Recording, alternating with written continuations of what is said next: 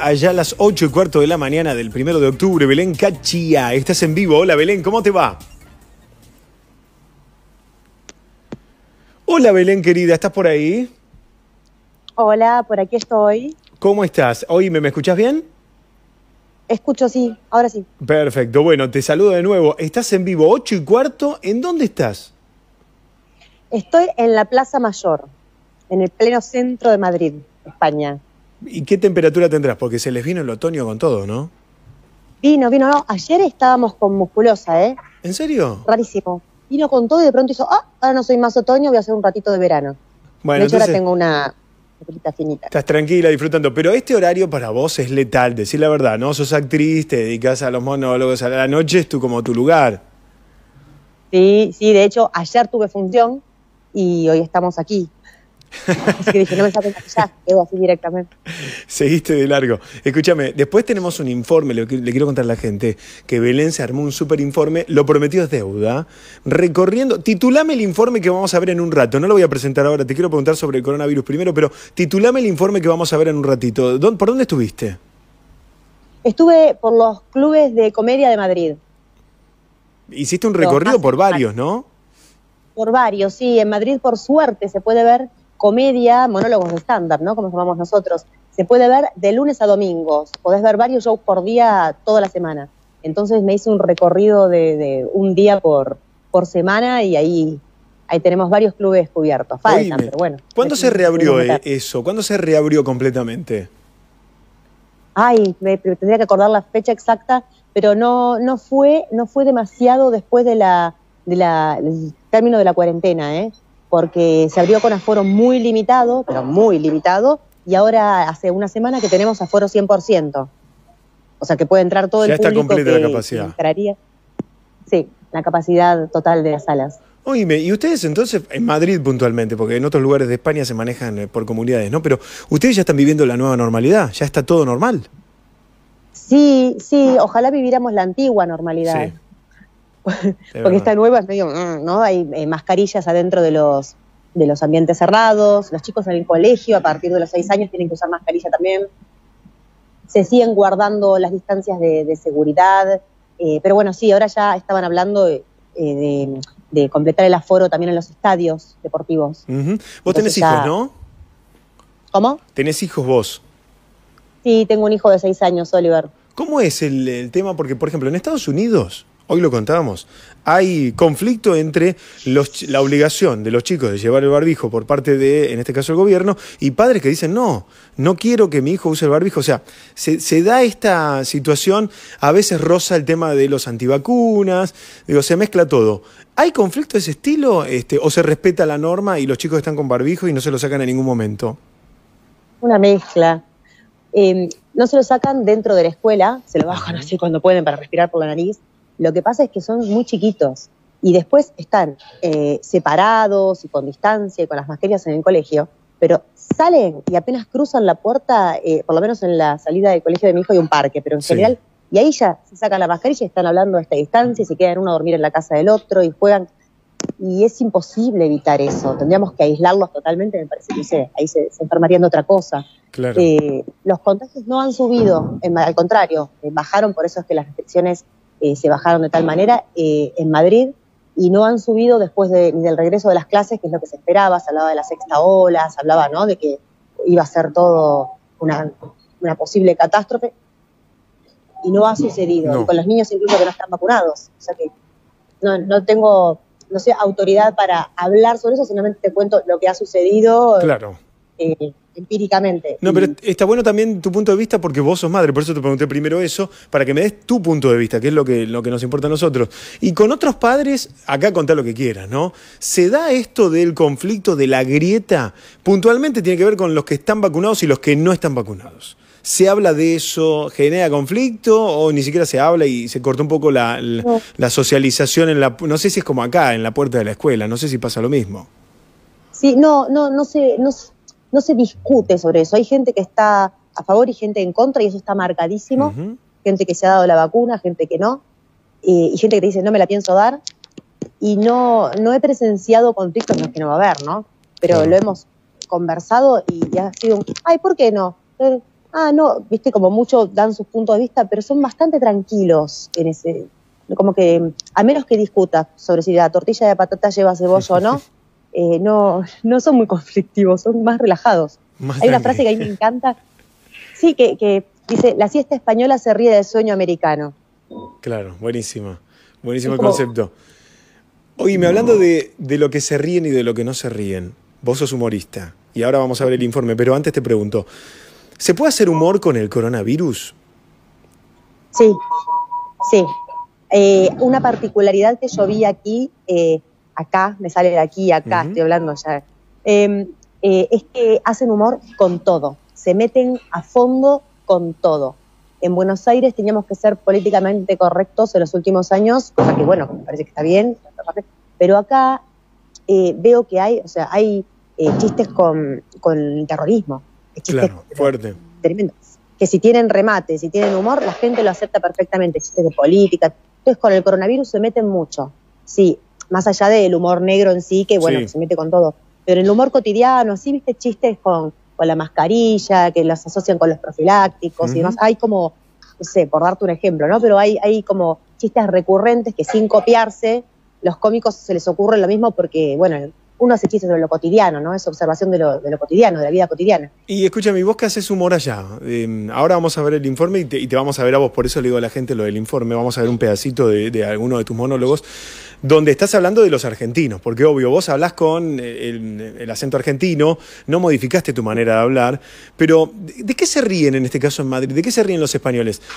Podrán reírse de nosotros también, si haces humor con nosotros, está bueno también reírse de uno mismo, pero ¿y después qué se ríen? ¿El humor es universal? ¿El mismo chiste que haces acá lo podés adaptar y se van a reír allá? Sí, Sí, fíjate que Les Lutiers acá es un éxito, un éxito, bueno, mira con lo que estoy comparando, ¿no? Pero bueno, podría no gustar porque es, un, es argentino. Y es un éxito, pero tremendo, pero te estoy hablando de que son, eh, les han hecho homenajes eh, en, Cervantes, es un éxito total. Y solamente cambian algunas palabras. Por ejemplo, nosotros decimos barbijo y acá decís mascarilla, porque barbijo no te entienden, que es otra cosa. Entonces, hay palabritas muy básicas que tenés que, que cambiar para que entiendan los remates, pero si no, se ríen de todo. Y los argentinos caemos simpáticos, bueno, a veces mal también, ¿no? Porque, Pero hay una cosa del, del creído ahí, el, egocéntrico, ¿no? El, eh, del chanta, y, pero simpático, el chanta simpático. Y entonces hacer humor con eso está bueno. ¿Sabes lo que no funciona? Hablar mal de tu país. Bueno, jamás lo haría, pero no hablar mal de tu país. Eso de criticar, porque estás en otro lado, criticar a tu país, más allá de que me parece terrible en lo personal, pero viste que hay humor de no, porque en cambio los argentinos. No, pero el humor de reírnos y de seguir los tópicos que ellos nos ponen nosotros, de que hablamos mucho, de que vendemos cualquier cosa, de que somos todos psicólogos. Hay cosas que a lo mejor ni sabemos nosotros que se dicen en Argentina. Y, sí, el ego, el ego sobre todo. Oíme, y en un club de comedia, em, entiendo que van pasando distintos este, comediantes, justamente humoristas. ¿Cuántos pueden, en, en, una noche, cuántos humoristas pueden pasar por el escenario? Mira, hay unipersonales. Sí hay muchos unipersonales, ah, que es el show de una hora. Acá se usa, que en Argentina no, el cortar en el medio para que la gente tome y qué sé yo, y después seguir, o sea que se hacen dos fracciones de media hora. Y hay shows de los fijos de tres personas, pero están los micrófonos abiertos, que hay un montón, que es como, no es un karaoke de, stand-up porque eh, son los cómicos que son cómicos, no es que sube cualquiera del público. Ah, mira. Pero sí es que vos te anotás y es como un cupo limitado, basta de notas o te programan desde antes y son de 6 a 8 cómicos por noche. Eso es lo que vos grabaste, ¿no? En, el informe que vamos a ver hay una parte de, veo uno de los, un chico que está con una libreta, ahora lo van a ver al aire, que está escribiéndose los chistes, entiendo que es esto, ¿no? Se anotó para pasar al escenario. Sí, sí, lo que, lo que más, eh, de lo que más puse en el informe es de clubes de comedia que tengan micrófonos abiertos. Me pareció interesante porque shows de comedia hay en todos lados, pero tantos micrófonos abiertos y hay muy buena calidad. Eh, y además se mezclan gente súper prestigiosa en la comedia, eh, con muchos años de carrera, con, ¿no? con mucha experiencia, con chicos que están empezando. En los micrófonos abiertos ahí se mezclan. Hay una camaradería y una generosidad muy grande entre cómicos. Es muy lindo. Bueno, vamos a verlo. ¿eh? Estuviste recorriendo los clubes de comedia y lo ponemos al aire y seguimos charlando con Belén. Mira.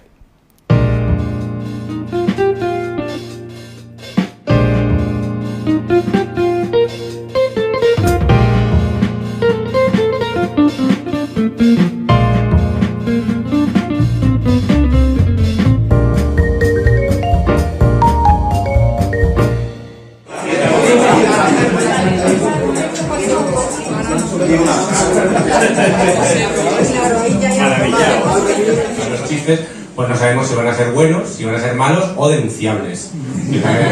que se haga el caso. Entonces, para eso. Se llama One Liner. Dentro del, yo estoy empezando, ¿eh? Pero el One Liner. Estupendo. Eh, una tremenda cómica venida de Argentina. Fuertísimo el aplauso, por favor, para Belén Cachia.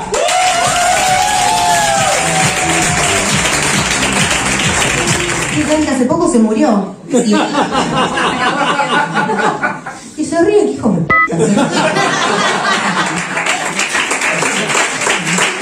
Saludos desde Madrid, el Golfo Comedy. ¿Qué onda? Encantado. ¿Qué onda? La, la movida de comedia de los cómicos en Madrid. Bueno, llevamos muchos años. eh, Madrid es la ciudad de las oportunidades y aquí es eh, la ciudad con más teatros y salas de España. Entonces, todos los que tenemos ganas de hacer cosas venimos a Madrid. Madrid siempre hierve. Bueno, eres Albert Boira, si es un especial de comedia en Madrid, tiene que estar, no es casualidad. Cuidamos muy bien a Belén Cacha. Es una aportación cómica de Argentina que nos encanta.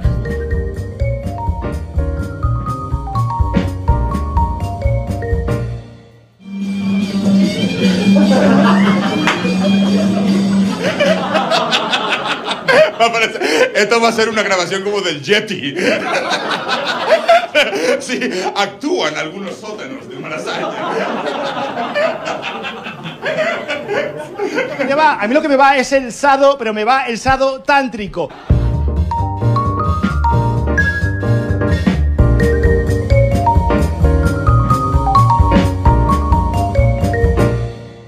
Los catalanes me caen fenomenal, ¿eh? que lo sepáis, me caen fenomenal. De hecho, creo que los catalanes utilizan un lenguaje mm, feminista, muy inclusivo. O sea, de verdad, ¿eh? ¿No os parece que tenían un presidente, le llamaban presidentorra en lugar de presidentorro?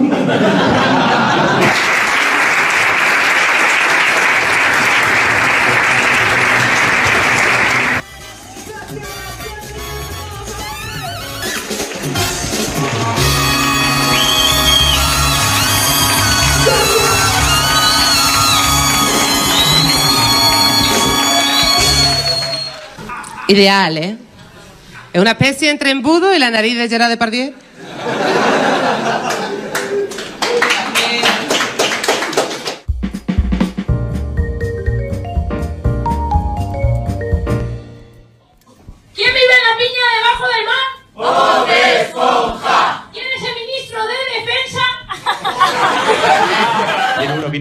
Grande, grande, además de Argentina, que nos están viendo, nos han contestado de Argentina. Un abrazo a todos los de Argentina, un cómico argentino, el- no sé lo que puede durar esto. Quiero verlos sufrir a los nordacas. Ustedes no dicen sudacas, yo le digo nordacas, ¿por qué no? O sea, Señores, señores, han sido un público maravilloso. Muchísimas gracias. Que se les ve medio. Que dice, son unos short, digo, son unas bragas vaqueras.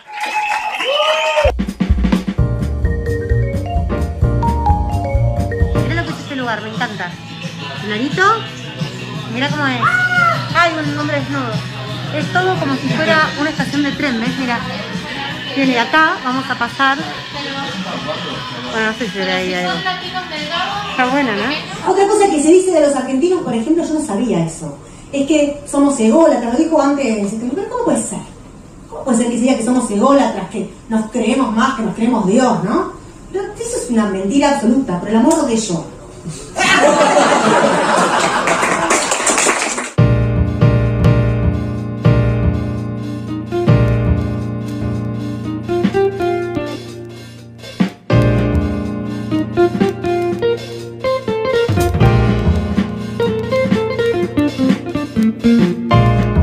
eso? ¿Qué es eso? que tenés ahí? chistes. Estos son mis chistes que voy a probar hoy.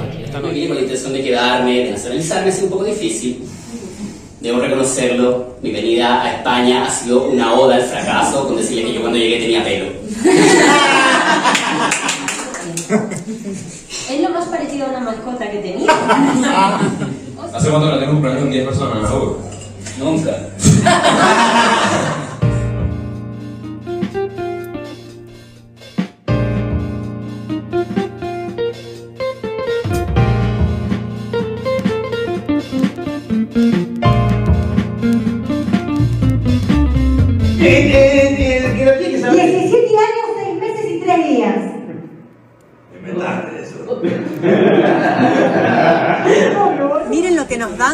vamos a actuar. Esto es como una especie de profiláctico para los micrófonos, porque con esto del COVID es como una gorrita de- para ducharse en el baño, pero para poner el micrófono para evitar el escupir. Está buenísimo. Bueno, buenísimo, Belén. Estuviste por todos lados, buenísima, buenísima onda todos. Muchos cómicos españoles, pero también hay, no sos la única argentina. No me acuerdo del apellido de Nico. ¿Cuál es el apellido de Nico? Nico Bifi. Bifi, que te- trabajó mucho acá en Argentina. ¿Y cuánto hace que está en España? Eh, dos años igual que yo, un poquito después que yo llego. La están y él rompiendo, es el ¿no? único cómico argentino que tiene unipersonal en la Chocita del Loro, que es un lugar muy eh, viejo de acá, muy emblemático. ¿Cómo le festejaban los chistes? ¿A vos también? Sí, sí, sí, estamos trabajando bastante y, y quise incluir esa, esa, eh, ese video de cuando hicimos un show juntos porque ahora empezamos a hacer eh, pedidos Qué bueno. por fuera de Madrid también, sí. Qué bueno. Che, no me quiero meter en el bolsillo, pero te lo tengo que preguntar. No me digas cuánto ganan ustedes, pero ¿cómo se paga ese trabajo? ¿Qué es tipo a la gorra? ¿Tienen un sueldo fijo? No, la modalidad de la gorra acá no está instalada. Eh, lo que se hace, lo llaman taquilla inversa igual, no me digas que no es fino. Taquilla inversa, me encantó. Claro, está muy bien, ¿no? Queda como. Pero no, no, eh, para stand-up es a bordero, eh, ya eh, de lo que se ha vendido, de lo que se ha ganado, son porcentajes. Y, bueno, está bueno eso, porque también el cómico se mueve para meter gente. Y en los micrófonos abiertos una particularidad es que se cobran entradas muy económicas, porque la gente sabe que el cómico va a probar material, Claro. que va a ver lo mejor de cada uno, y uno prueba chistes con el público. Y se cobran entradas muy económicas y los cómicos que van a probar material no cobran. Cobra el Ah. presentador, pero es tan poco el dinero que se, se pagan gastos con el micrófono abierto. Ajá. Oye, me te hago la última en relación a tu trabajo y te voy a pedir que nos muestres un poco el lugar. ¿La gente se ríe siempre en el mismo lugar? Vos haces, tenés el guion, haces la pausa y siempre se van a reír en el mismo lugar. ¿Y la gente aplaude siempre en el mismo lugar del texto? Sí, sí. El- un gran error que cometemos a veces los cómicos es engolosinarnos con que acá es donde aplauden y justo ese día o lo tiraste un poquito raro o el timing fue, el tiempo fue diferente y no se, no se no aplaudieron, no se rieron y es como, ok, y seguí, viste como... y esa es la pausa igual, eh, porque a veces sí, es, generalmente es así. Siempre depende de los años de escenario de, que tengas, las tablas que tengas, es que las tablas me sale como esta tabla de planchar, tabla de tenés que que, perdón, son las 8 de la mañana. sí, te volvemos a que agradecer que estés despierta a esta hora. Gracias, gracias. Que lo valoran, sé que lo valoran, por eso. Oíme, Eh, bueno, eso, que tenés que adaptarte. tenés que adaptarte. Te hago la última. ¿Y qué se hace cuando en un show hay alguien del público que quiere ser más protagonista que vos? Que se ríe muy fuerte, que te, que te habla encima de lo que estás diciendo. ¿Se lo incorpora, se lo expone o se hace cuenta que no se lo escucha? Cada cómico con su librito.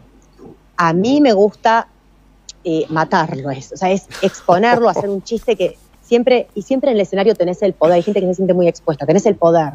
Entonces es, ah, sos gracioso, no le digo así, ¿no? Pero es Sí. buscar el modo de a ese lo tenés que sacrificar para que el público se ría de él y te apoyen en eso, ¿no? No sé Y si, lo si soy desactivás. clara en el... Y lo desactivás. Entonces tú, sí, se desactiva. Pero yo soy, eh, yo presento un micrófono abierto, que es el, el Open Madrid, lo presento yo. Bueno, y, y ahí lo que hago es que suben los cómicos, tienen entre 6 y 8 minutos cada uno, pero hay un momento para el gracioso ese. Cualquiera, o sea, siempre es en cada función. ¿Ya lo identifican al toque? público, ¿Al toque lo identificás ¿Eh? al cómico del público? ¿Lo Oh, identificás rápido? Sí, porque le digo, ¿quién quiere subir dos minutos? ¿Quién se anima? A veces haces un show profesional que sabes que funcionó súper, que estuvo muy preparado, qué sé yo, y bajás y te dicen, no, me gustó. ¿Qué tengo que hacer para subir ahí arriba? Y le decís, y estudiar comedia. No, no, no, no, ¿dónde me anoto? Tengo... Y qué falta de respeto, no digo al Claro. médico, a ver, puedo operar yo a corazón abierto, ahora me toca a mí. No es así. Claro, Pero bueno, claro. pasa. Mirá vos, qué bárbaro. Oíme, che, te preguntamos lo último. ¿Nos mostrás un poquito, no sé si podés sacar el teléfono, mostrarnos, girar ahí Sí, un poquito para mirá, ver dónde estás? mi despacho. Les voy a mostrar de dónde estoy. A ver. Miren, miren. Solita en el bar está, sola, sola, Claro, ¿no? porque está cerrado. Es el Museo del Jamón, Ah. que está cerrado porque, esperen que paso, miren, eh, salté la valla, estoy pasando la valla en este momento. Ah, ahí está. Estoy en Plaza Mayor vacía porque abre mucho más tarde. Están bajando los, los, este, camiones de- los restaurantes, están armando todo, la gente que va a trabajar. Esto es Plaza Mayor sin turistas. Claro. Esto es una excepción, ¿no? Ahí, viste, sentada. Claro, porque, porque aunque está buenísimo, elegiste un lugar espectacular, pero hoy- todavía porque seguimos en pandemia, porque esto antes de la pandemia, aunque sea temprano, ya tenía gente. Parecía el subTC un lunes a las 10 de la mañana. Claro, No, esto, pero caminabas, pero en serio, con la gente a esta distancia acá, ¿eh? claro. pero claro. ahora no. Ahora Bueno, te dejaron todo para vos, para que te luzcas. Belén, como siempre te quiero agradecer toda la producción que le metiste. Gracias por el informe. Saluda a todos, a Nico y a toda la gente que participó de parte nuestra. ¿Y cómo hacen para seguirte a vos en redes? Arroba Belén Cachia. Cachia es C-A-C-C-I-A. Ahí como lo pusimos en pantalla, arroba Belén Cachia, te seguimos en Instagram. Bueno, te mandamos un beso y nos vemos pronto. Beso gigante para todos. Sí, muchas gracias, Héctor. Cuídate, chau, chau. Ahí estaba Belén en vivo, ¿eh? Qué bueno, recorrimos la noche. Esto es lo que pasa por la diferencia horaria. Ya es de mañana, pero Belén se tomó el trabajo de hacer el informe recorriendo la noche en Madrid con los clubes de comedia. 3 de la mañana con 36 minutos, 15 grados dos décimas. Quédense con nosotros que hay más información, no se vayan.